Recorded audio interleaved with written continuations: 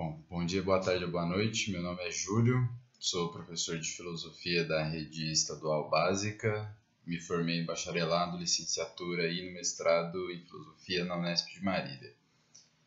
É, primeiramente, eu quero começar dizendo que para mim é bastante estranho estar aqui gravando um vídeo é, inteiro pela segunda vez, inclusive por problemas técnicos, inclusive é graças aos problemas técnicos que a qualidade da gravação está tão maravilhosa. É, me parece que tira um pouco da naturalidade de uma apresentação em um trabalho científico, mas são as condições materiais da, da pandemia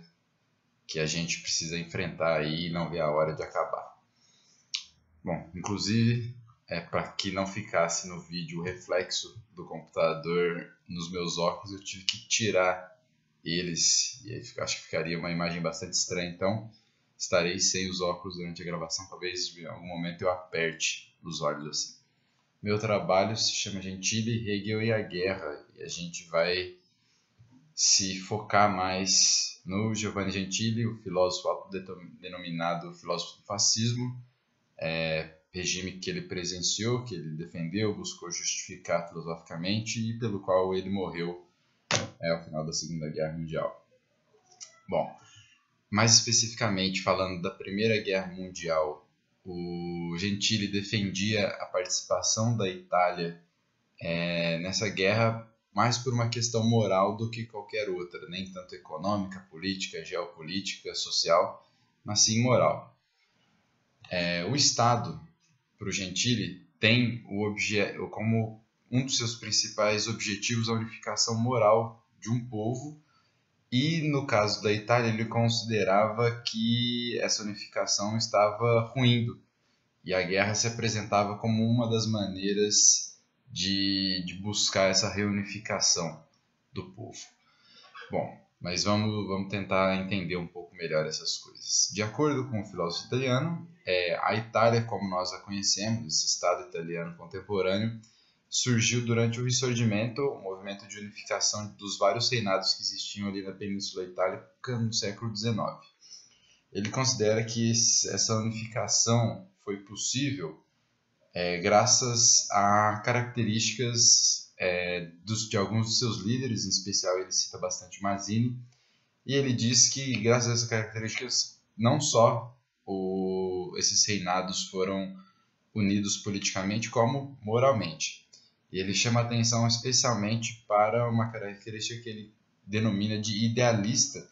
que é a capacidade de se pensar, o pensar e a ação como juntos intrinsecamente ligados, coisa que até então na realidade italiana não acontecia, segundo ele, apesar dos grandes avanços teóricos, filosóficos e científicos que o povo italiano conseguia. Acredito eu que não acidentalmente, não ironicamente, essa característica que ele encontra na história italiana é também a base do seu próprio sistema filosófico, que ele chama de atualismo, que é bastante é, influenciado pela filosofia hegeliana.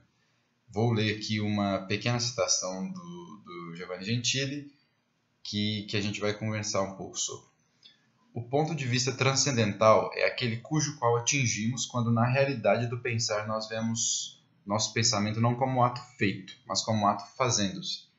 Então, é, para o filósofo, infelizmente a gente não pode aqui se aprofundar no seu próprio sistema filosófico, tendo visto que o nosso objetivo é estudar a leitura dele sobre a guerra, mas que ele considera que o pensar é, enquanto tal, não como se já tivesse sido feito, mas no ato que o faz praticamente é, digamos aqui de novo que ele ao mesmo tempo em que ele lê a filosofia, a sua filosofia na realidade, ele interpreta a realidade italiana filosoficamente no seu próprio sistema, unindo então essas categorias de pensar e agir, coisa que, segundo o filósofo, nenhum antes dele conseguiu unificar de fato. Quem mais chegou próximo teria sido Hegel, mas que não realizou essa unidade. Depois do Risorgimento, é, segundo ele, o Estado italiano foi tomado por alguns políticos e pela política de esquerda. E aqui ele denomina como esquerda liberais e socialistas e acaba, de alguma maneira, igualando essas duas correntes políticas. E ele vai dizer que durante esses governos de esquerda houve um grande avanço material, científico, teórico no país, mas que passou a cindir aquela unificação moral que o movimento de unificação do Estado tinha conseguido, especialmente por colocar o indivíduo como, uma, como algo exterior ao Estado, com o qual ele se relaciona através dos seus direitos e deveres políticos, sociais e civis. É... Mas então, nesse contexto de cisão moral do povo italiano, se podemos dizer assim, qual seria de fato o papel da guerra? Para um grupo que vai enfrentar um outro de maneira armada, bélica, é, ele estando desunido e coeso, ele está muito mais enfraquecido do que poderia se tivesse com algum, com algum grau de, de unidade. É, segundo o, o Gentili, quando os sujeitos conseguem se unificar de uma maneira é, universal nesses termos, em que eles conseguem deixar de lado suas particularidades, eles, essa relação é o Estado. E, na verdade, é através da guerra, justamente por ser necessária a unificação entre os sujeitos, para que o confronto seja mais possível de ser vencido, é, ela é então uma possibilidade de criar essa unidade novamente e entre os indivíduos que necessariamente para, o confronto precisam deixar de lado as suas particularidades, coisa que, segundo ele, os governos de esquerda até então vinham incentivando nessa lógica de relação do indivíduo através dos seus direitos com o Estado e não através dessa, desse abandono, digamos assim, de suas próprias particularidades para, na relação com os indivíduos, formar um Estado. Vale pensar aqui que ele não está dizendo que a guerra vai formar um novo Estado. Pelo contrário, sempre que há relação entre indivíduos, uma relação social, existe Estado. Acontece que, a depender de como esse Estado é constituído, a unificação moral do seu povo é mais frágil, o que é, na verdade, um grande problema para um desenvolvimento idealista, como ele diz, né? um grande problema para um desenvolvimento em que pensar e agir estão intrinsecamente ligados. Bom, essa seria então a principal utilidade, digamos assim, da participação do Estado italiano na Primeira Guerra Mundial, segundo Giovanni Gentili.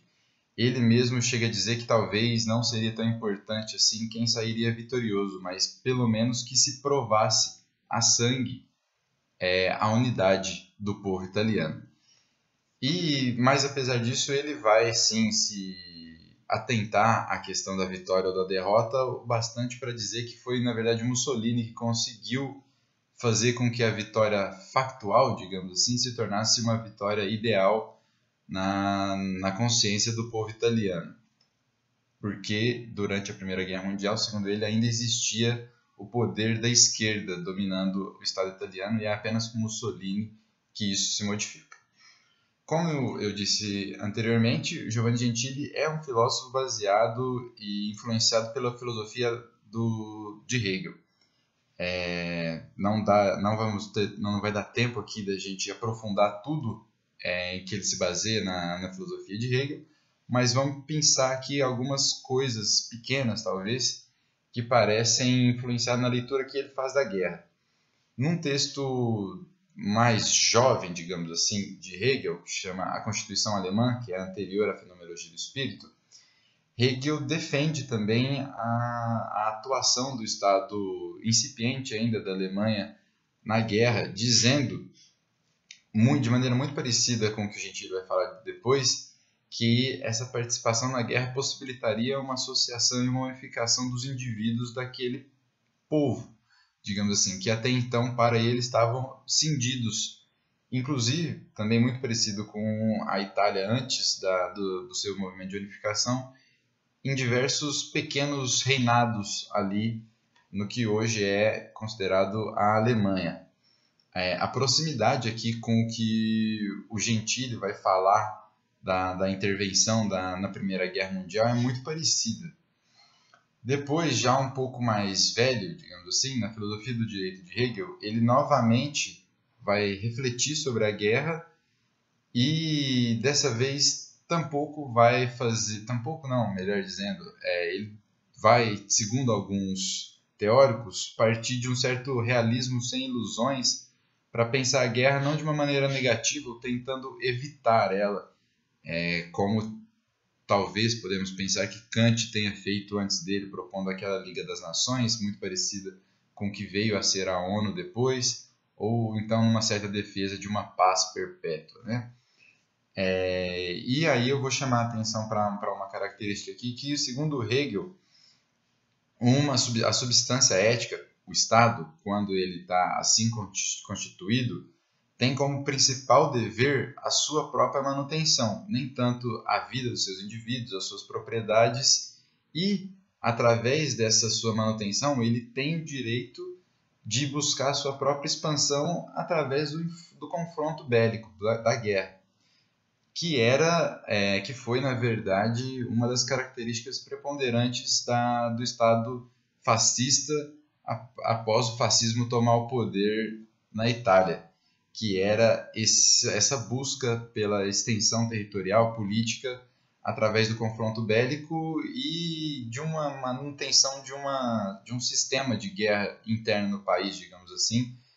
é, buscando sempre um alto grau de disciplina do Estado no povo, é, dentre outras características. Então, para resumir para encerrar aqui o trabalho, é, segundo Giovanni Gentili, é, a participação na, na, na, Primeira Guerra Mundial ela teria esse papel importantíssimo dentro do que ele considera é, necessário para a sobrevivência de um Estado,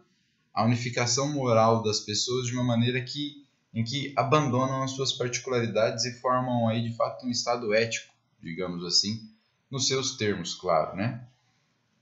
É, com esse trabalho, de, de, maneira alguma eu quero tentar aqui dar algum tipo de justificação é, racional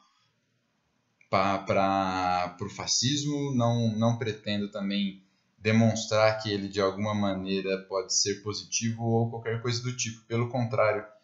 é, eu espero com isso que, que nós possamos cada vez mais conhecer os nossos inimigos de uma maneira que a gente consiga destruir eles de maneira efetiva, coisa que talvez a gente não tenha feito ainda. E para além disso, é, me interessa o fato de um filósofo tão ambíguo, digamos assim, como Hegel, ter influenciado ao mesmo tempo autores como Marx e Bakunin e outros da, com uma postura tão autoritária e conservadora como Giovanni Gentili, que vai de fato fazer uma defesa e ter uma atuação destacada no fascismo. Inclusive, aquele texto panfletário Doutrina do Fascismo, apesar de não ser assinada por ele, teve uma grande contribuição. A primeira parte desse livro é escrita inteiramente por, pelo Giovanni Gentili. E essa, essa segunda influência, digamos assim, de Hegel nesse, nessa política conservadora fascista, ela me parece um tanto quanto desconhecida ou desconsiderada pelos estudos hegelianos hoje em dia, e é algo que eu também quero chamar um pouco de atenção aí. É, eu tampouco estou aqui tentando dizer que Hegel é um autor fascista, seria anacrônico eu dizer isso. É, ele é anterior ao fascismo. Mas certamente Hegel não é um, um grande defensor de um sistema democrático ou que de alguma maneira se oponha a um governo autoritário. E aqui então caberia a gente questionar esse realismo sem ilusões de, de Hegel que chega a ponto de ter uma influência que nos parece tão direta assim num, numa proposta realmente bastante autoritária como foi a fascista e como foi a leitura extremamente positiva, mesmo que desconsiderando as mortes causadas nesse processo da, da Primeira Guerra Mundial e da intervenção italiana na Primeira Guerra Mundial por Giovanni Gentili. Bom, a acredito que seja isso. Peço desculpa de novo pela péssima qualidade do vídeo. Foi o que foi possível, dadas as condições materiais aqui do equipamento de um professor do estado que recebe um péssimo salário. É isso e muito obrigado pela atenção de todas e todos.